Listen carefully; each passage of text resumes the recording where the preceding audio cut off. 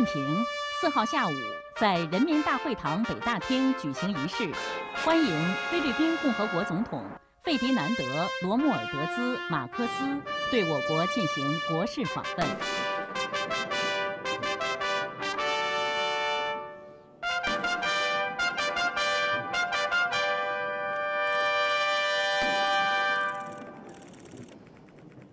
天安门广场上鸣礼炮二十一响。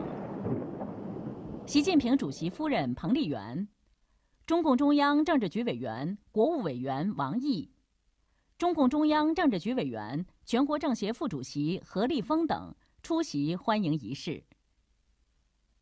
陪同马克思访华的有总统夫人、前总统兼众议院高级副众议长、众议长等。军乐团奏非中两国国歌。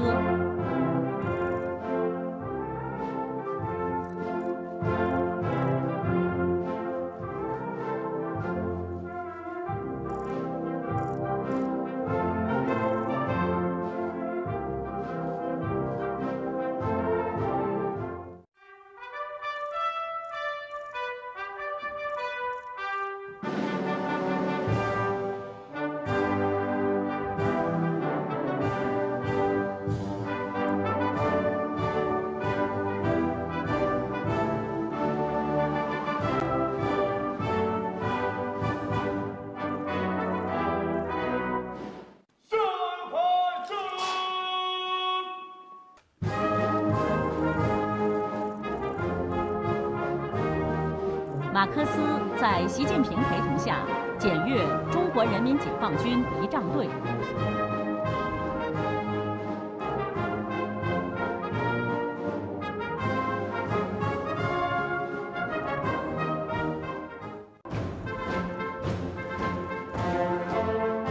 两国元首围到检阅台，观看仪仗队分列式。